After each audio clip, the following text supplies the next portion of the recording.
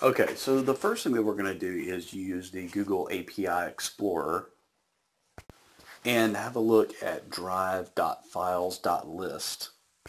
We're going to be focusing on two parameters, which are the q parameter and the fields parameter. And for the q parameter, there's a bit of Google documentation that might help you understand this or figure this out.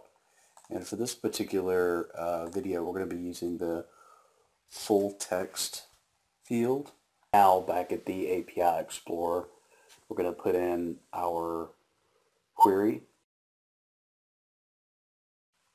And we're going to go ahead and put in our fields. In this case, we're going to narrow down our response results to only two fields.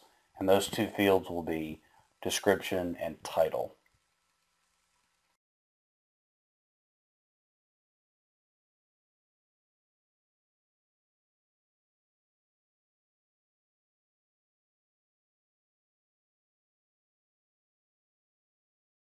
And once executed, you can see at the bottom that we have return results for title and description. So doing this first in API Explorer will give you a good idea that you're doing it correctly. And will also allow you to see the response results. In previous videos, we put together an app that uses the Blogger API to do a Blogger search.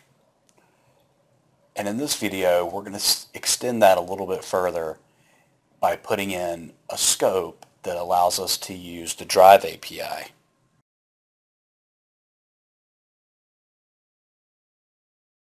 From here, we can open up Chrome and the JavaScript console and start to test our API using JavaScript with just a few lines of code. An authorization is required in this case, we're using OAuth 2, which we covered in previous videos.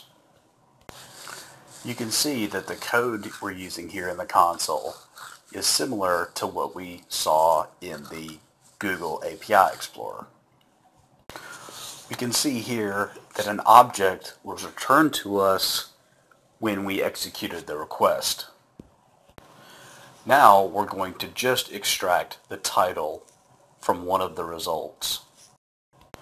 And you can see that what's given to us is file API.html, which is in fact the title of the file. In our next videos, we'll be covering more aspects of the Google Drive API. In the meantime, you could check out some of our other videos on the subject of Blogger APIs and YouTube APIs.